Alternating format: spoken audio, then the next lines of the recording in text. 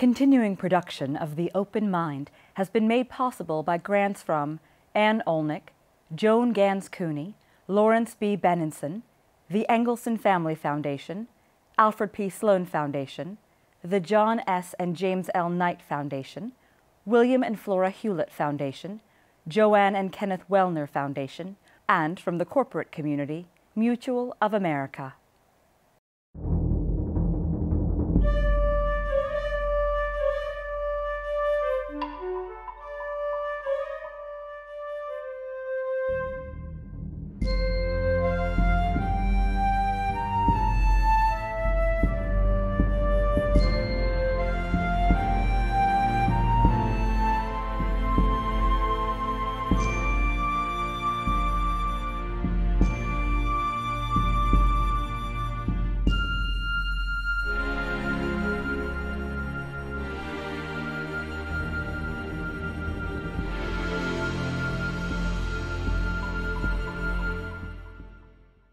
I'm Alexander Heffner, your host on The Open Mind. My guest today is author of the new Texas A&M University Press volume, Demagogue for President, The Rhetorical Genius of Donald Trump. Jennifer Mercieca writes about American political discourse, especially as it relates to citizenship, democracy, and the presidency, and has authored previously two books about political rhetoric, Founding Fictions and The Rhetoric of Heroic Expectations, establishing the Obama presidency. Welcome, Jennifer. It's my pleasure. Thanks for being here. Congratulations on the book. Thank you. This is some of the paraphernalia we have accompanying the book, Demagogue for President. So look it up. Uh, it's an academic volume, but it has wide accessible reach beyond the ivory tower. Let's start with the term genius, because I know when you created the title, there was some Twitter conversation amongst you and fellow scholars and journalists about genius what, what is he doing ingeniously? Um, what is he doing successfully as a demagogue? What makes him a demagogic genius? Yeah, it is a controversial thing, right? So Trump will tell you he's a genius. He'll tell you he's a rhetorical genius. Um, he also tells you not to pay any attention to the way he says things, that concern over how he says it is, you know, concern over political correctness or is um, women trying to police men.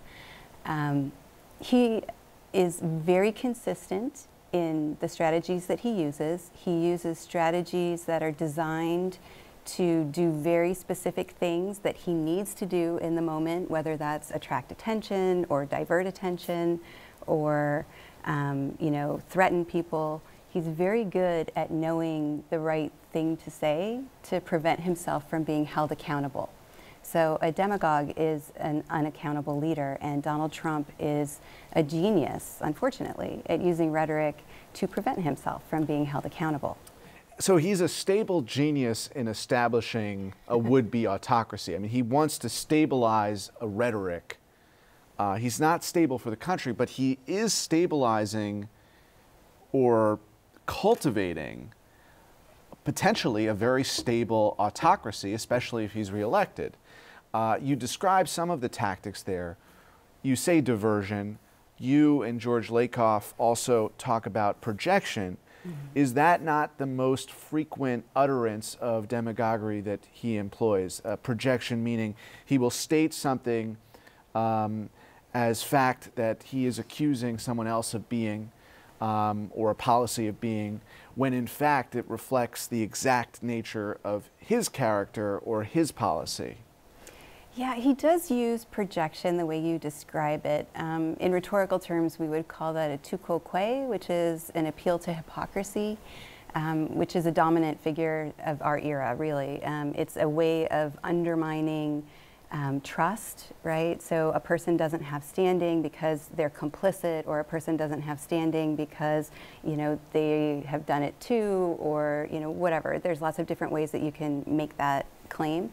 Well, Trump does that sort of widespread. And so um, it sounds like he's, he's projecting, but what he's trying to do is undermine. Um, so what he really, what he does that I've noticed um, that is authoritarian and is demagoguery um, is using the tu quoque, but also he uses ad baculum, which are threats of force or intimidation. Um, and he's just a master at wielding communication as force. So whether that's overwhelming the news cycle or whether it's saying, um, you know, reporters will be sued for libel or that media companies are going, going down the tubes or, um, you know, threatening people who are protesting him in rallies, you know, those are all different ways that he exerts force over the conversation in a way that it's very difficult to respond to him. Um, and he just is able to use that force to dominate the conversation. Whether it's on Twitter or on the lawn outside of the White House, you're basically saying it's everything in the kitchen sink when it comes to Trump and demagoguery. It's not just the projection. Um, it's, it's the intimidation, threat of violence. Um, and, and of course, his Twitter feed, as he became president, seemed more and more like a mirror on his rhetoric as president. And you say this is the new presidential. When you say this is the new presidential, we hearken back to one or two other examples of presidents who were masters of the harangue, you might say, uh, the haranguers in chief. Uh, to me, the only precedent for Donald Trump, really, in the history of the presidency, a, a, consistent analog would be Andrew Johnson, and maybe Andrew Jackson to some extent, too. Um, but you study the origin story of demagoguery from the American experience and our citizenship. Uh, do you likewise liken it to any other history of demagoguery? Because to me, we've had 45 presidents, and Donald Trump resembles only two of them and, and maybe not even entirely. I think that's right. Um, I do see a lot of similarities between Trump and Andrew Jackson in particular. Um, and so, yeah, in my book, I say that Trump is probably the most successful demagogue in American history, and it's because I'm thinking of Andrew Jackson maybe is more um, effective in history, and I'm not sure what the answer will be. Um, and what I mean by that is Andrew Jackson was the master of rewarding his friends and punishing his enemies, right? He wielded that power, um, used the federal government to do that.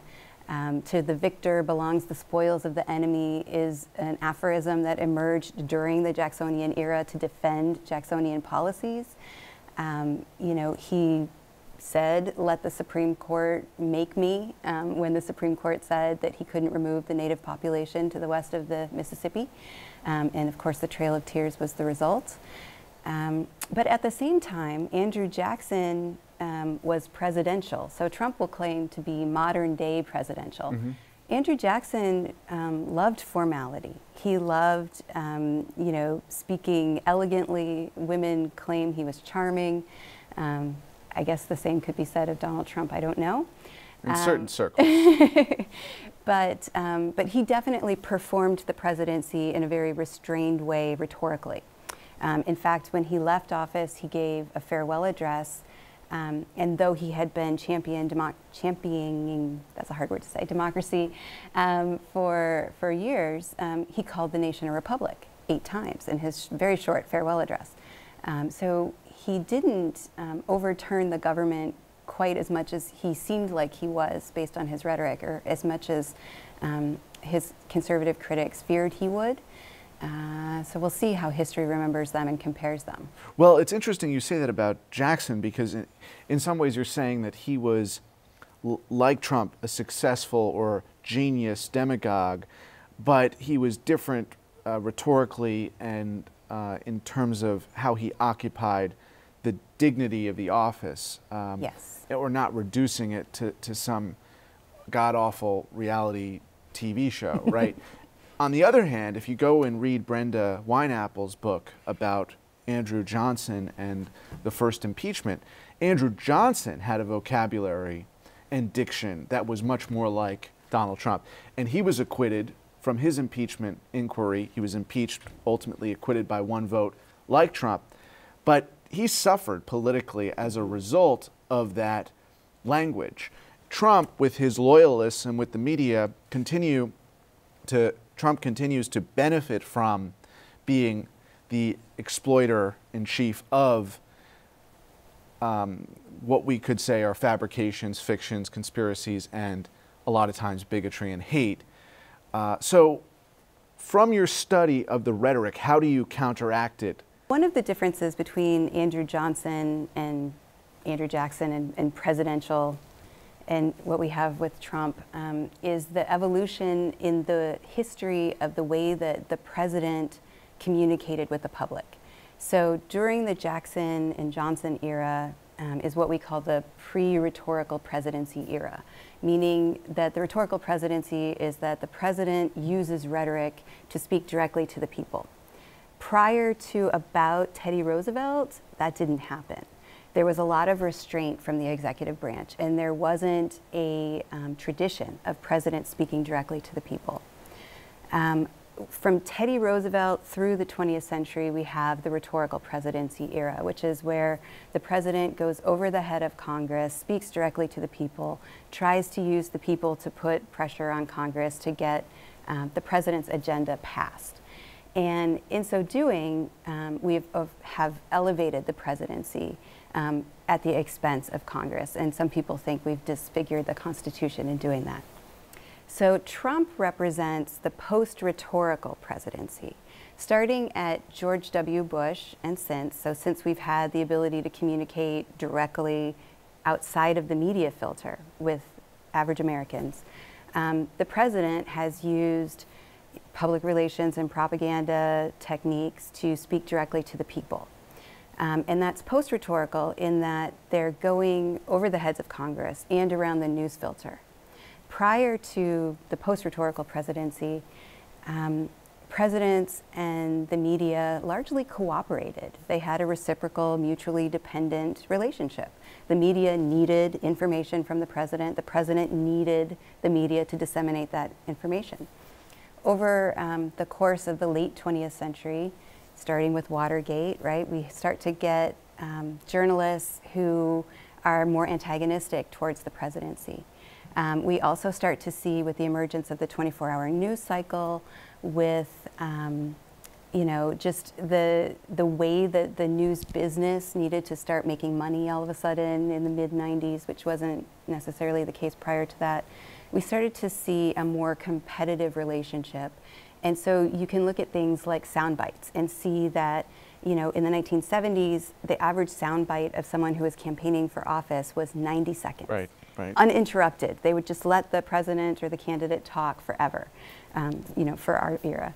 Uh, now it's like six, seven seconds tops. So, you know, they really. Um, That's Neil Postman there. Exactly. Right? So they really editorialize. And um, and so that really created this situation where candidates and presidents really needed to figure out a way to go around, right. you know, these media gatekeepers. Um, and so George W. Bush was the first one that we noticed doing it.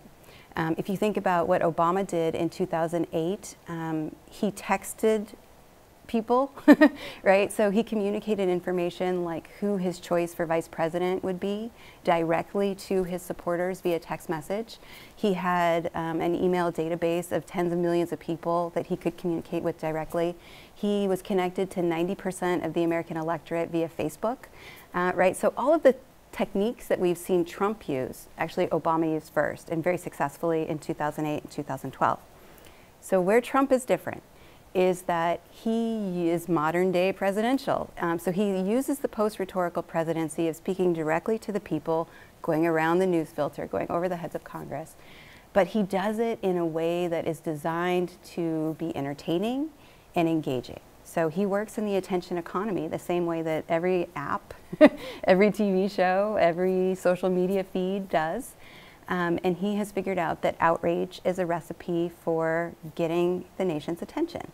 He's been very successful at it. Well, but you don't seem to suggest that the media have adequately defined him historically, not alleging that he's new or post rhetorical presidential, but that he's dictatorial. I mean, that what you described sure. is not something new. It's Francisco Franco. It's a whole litany of folks who've yes we've witnessed um, take over countries. I call him a dangerous demagogue because he uses weaponized communication strategies yeah. which deny consent. Right. And he does that through provoking outrage. So, but what I'm trying to say is that it makes sense within this history of the relationship between the press and the presidency. And without understanding that background, I don't think you can understand how to control him, which was the question. Okay, but exactly, but not control him as much as fix the problem, which may right. not include controlling him. Right. It may be electing someone who models a different discourse. So it's a systemic problem at this point. Yeah. So what's the solution to the problem at this juncture? Right. From your point of view. Yeah. So um, so there's a couple of things. So first of all, in my book, I try to explain his rhetorical strategies and why they work and how he uses them because I think that the standard for judging any political figure is whether or not their rhetoric promotes democratic deliberation and democracy. So the most democratic solution to combating dangerous demagoguery is to let people decide for themselves, right? So it's not me telling you um, what you should think, but it's me showing you what he does and how it works, and you get to decide for yourself if you like that or you don't, and if you think that's good for democracy. Um, so I think that's one thing that we can do. Um, the other thing is that we are seeing other post-rhetorical strategies that are not outrage-based. Um, and, you know, it's a new campaign, so I think people are testing them. One, and I think that this is an unfortunate one, but one is Michael Bloomberg's strategy, which is a paid post rhetorical strategy. He's going around the news filter by placing, you know, I saw a billion ads or two billion ads so far. It's crazy. Um, I'm, I'm leery of that model. Um, it could be effective, so that's not my qualm. it's more like um, I don't think you should get to buy that much um, interest and airtime. I don't think that you should get to buy a presidency. Um, there's another model that I actually think is, is really savvy and also um, joyful and good for democracy, and that's the model that Elizabeth Warren is using. Um, Elizabeth Warren has this selfie campaign, which is fantastic, right? So she spends hours taking selfies with people who attend her events. And she does that because she knows that that promotes connection and horizontal um, spread of her message. So everyone who gets a selfie with her will, of course, post it on all of their social media feeds and send it to their mother um, and be really enthusiastic about her campaign. And so that can drive attention and engagement in some of the same ways that we see people getting attention and engagement with other ways of doing it. So you know, we don't know what's going to happen with these different models, but I'm paying attention to that and I'm trying to um, see what I, you know I think is the best. And so far, that's the one that to me seems more democratic and more joyful and less outrage based. So that is heartening. I'm so glad. Yeah. is there anything more to expound on? In that category of selfie campaign, what else good can you talk about? what other good things are there? Well, I mean, so one thing that's really good is that people are so attentive to Donald Trump and what's going on. I mean, so on the one hand, it's exhausting. But on the other hand, um, you know, Americans are interested in politics for the first time in a while and they're wanting to defend um, norms and the Constitution. Um, and they're also, I think, questioning established rules. Like, you know, I, I, talked about the rhetorical presidency model and the way that the press and the presidency cooperated. Um, you know, I think there's a lot of criticism of that model that's legitimate, right? Like, why should the media get to be the gatekeepers? Why should they get to set the agenda? Um, and that definitely is a part of the background of both the 2016 and 2020 campaigns. I think that's healthy. What about the inspirational model that you talked about in one of your first books, Barack Obama? Pete Buttigieg has seemed to channel that or tried to emulate that. To me, The West Wing and Matt Santos is the best example of how you go from a brokered convention to a unified electorate, and that that may be a third option after Bloomberg's paid billions and Liz's selfies. Uh, how about just sheer inspiration? Yeah, I mean, so I think that Buttigieg is doing a great job of trying to speak to the middle. Is there a rhetoric that can resuscitate that era of um, Obama or preceding Obama where words and facts mattered? Is there an, a, an element of inspiration that can recapture the rhetoric era and kind of shift us back from the post rhetoric era? Um, no. Um, so We're not going back to yeah, it's an Ke a Kennedy well, or, or even a Reagan model. The post rhetorical presidency model is an institutional argument right? So unless we took away everyone's cell phones, emails, and social media, there's no way that we're going back to a rhetorical presidency model where the media just gets to be the gatekeeper and there isn't the chaos of us all having communication. Um, but there is, of course, the ability for an inspirational president or campaign. I don't know if that's what the nation wants in this moment. So what I think is good about what Buttigieg is doing and some others um, is that they're trying to speak uh, to the middle ground, to say that there's more in common in the United States than people would like you to believe, right? And so it's a non outrage based model. It's trying to tamper outrage and say, you know, let's be calm, let's think about problems, let's solve problems, and let's work together. Um, I think that can be inspiring. When Trish Roberts Miller was here, mm-hmm.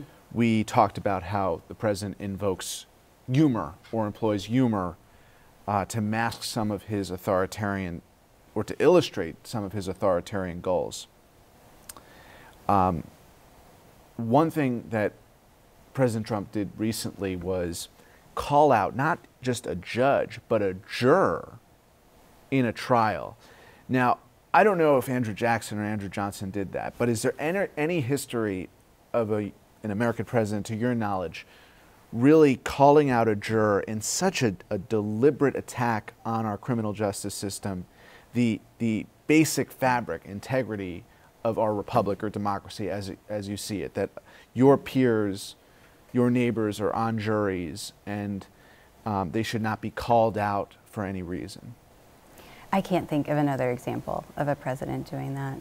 I mean, isn't that that's such a visceral, painful unmistakable attack on our country. That's right. So, um, one of the things that I do in my book is I explain how there's an analog to how a person weaponizes communication um, with Ziblatt and Levitsky's How Democracies Die. Right? So, they offer four rules or ways that you would know that a democracy was eroding. Um, one of them was violating the democratic rules of the game, right? So violating the Constitution, democratic norms. Trump is absolutely doing that when he's calling out um, jurors and, um, and, and, others. Uh, the second one was delegitimizing political opposition. Um, and Trump absolutely is doing that when he's using ad hominem attacks, when he's saying that a judge is illegitimate, which he did, of course, during the campaign in 2016, and he's done consistently throughout. Um, another one is condoning violence.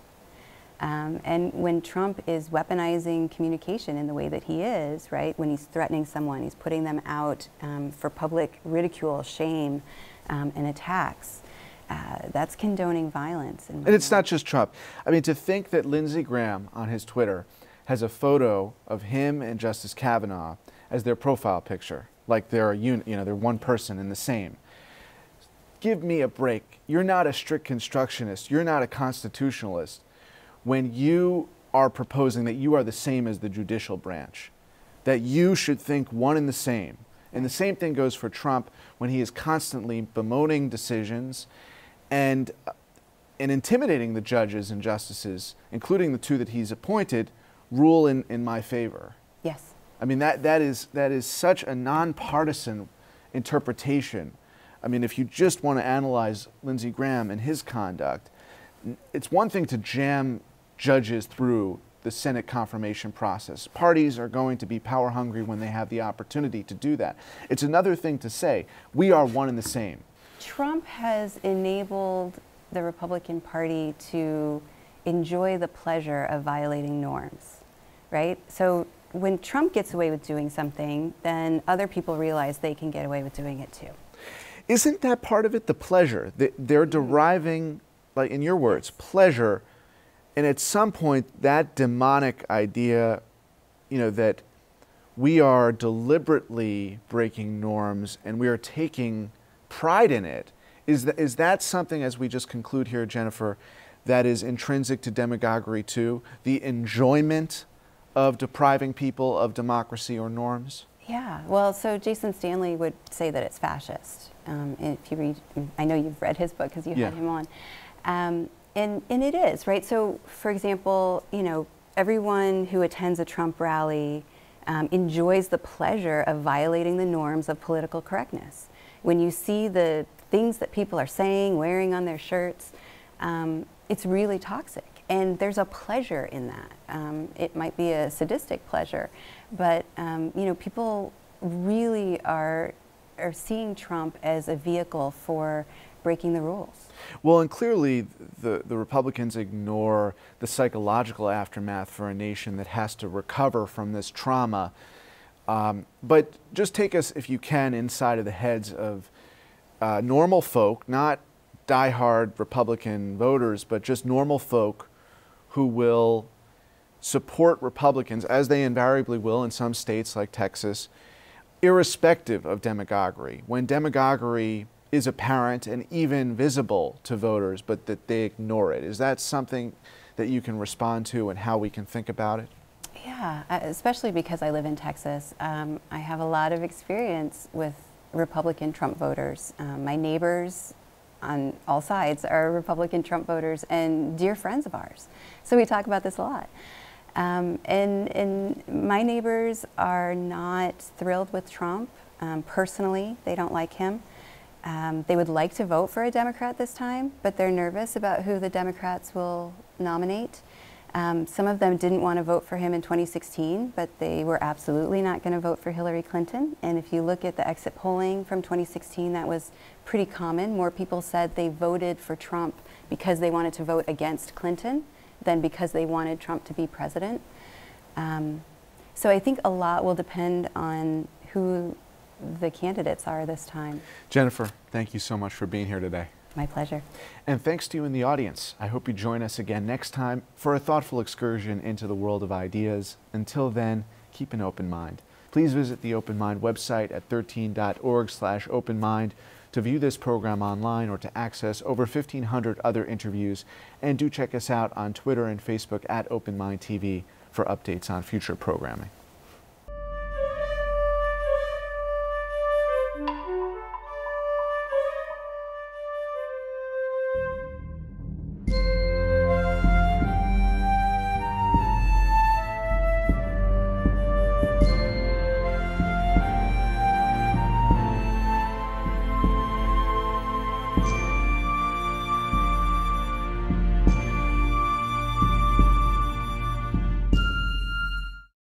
Continuing production of The Open Mind has been made possible by grants from Ann Olnick, Joan Gans Cooney, Lawrence B. Benenson, the Engelson Family Foundation, Alfred P. Sloan Foundation, the John S. and James L. Knight Foundation, William and Flora Hewlett Foundation, Joanne and Kenneth Wellner Foundation, and from the corporate community, Mutual of America.